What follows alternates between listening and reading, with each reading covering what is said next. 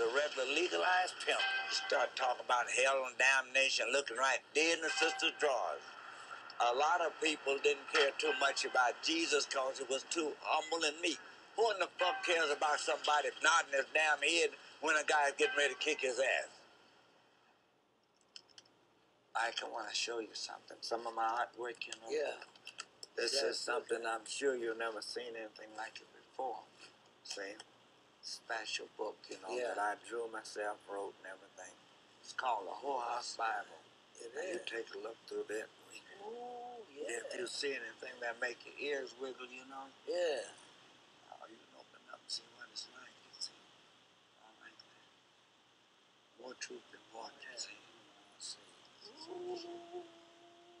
Actually, this is called the ABCs of pornography. Ooh. And it, each letter tells about some particular act, you know, what Yeah. it stands for. But it's not about intercourse altogether. But I think there's a little knowledge that can be gained if you read the book all the way through about different things that we don't ordinarily hear about. You see, a lot of people think that pornography is something vicious or ugly and all like that. But it is a basic part of our life, believe it or not. Yeah, I imagine that. You got a lot of writing, Huh? a lot of history, right? Well, a lot of it was done sporadically, you know. I just over here. I think. I even got some things in here about Cleopatra, Queen of Sheba. well, what's he? He's cooking. Sure, but you see who's coming in through it, don't you? Jody.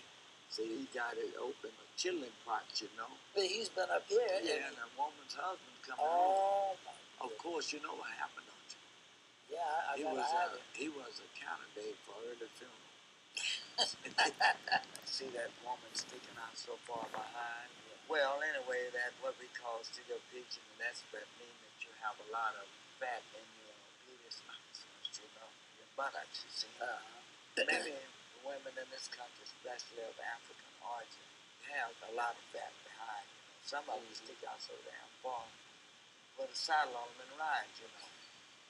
Guy told me it's a certain part of his anatomy. When he looked at one of those women sticking out, got harder than a Chinese arithmetic problem.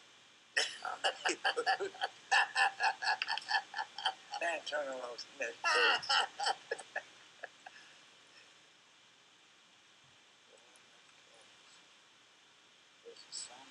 Why should songbook a special book? Make a weak-minded fool go stone crazy. That's all there is to it. See?